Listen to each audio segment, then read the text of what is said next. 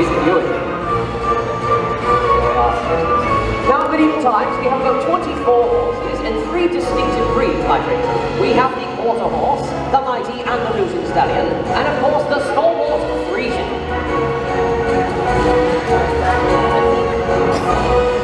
And since normally I like to talk a lot, my friends, I mean, this is my goal for this presentation, to talk as little as possible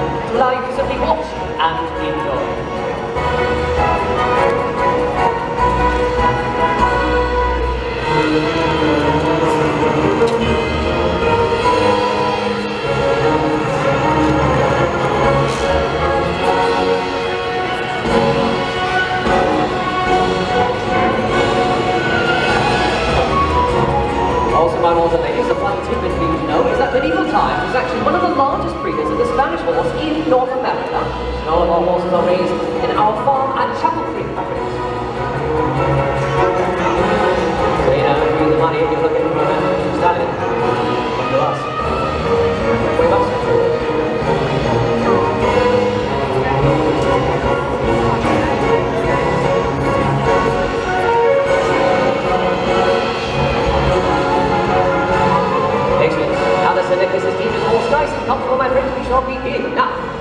we shall start with the display of both strength and grace.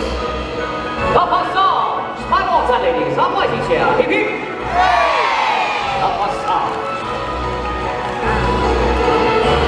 And now we shall move into the collected trot in place, known as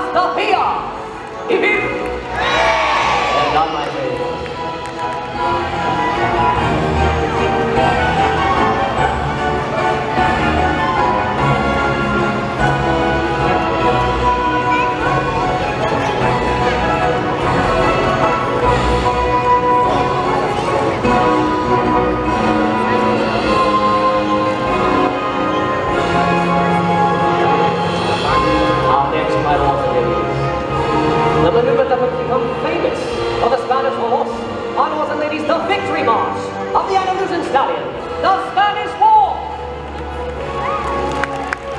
Course, directing your attention to the front two legs taking high kicks, which we use on the field of battle to thrash enemy soldiers in front of you, my friends. As once again, all of these maneuvers are derived from lessons learned upon the field of battle.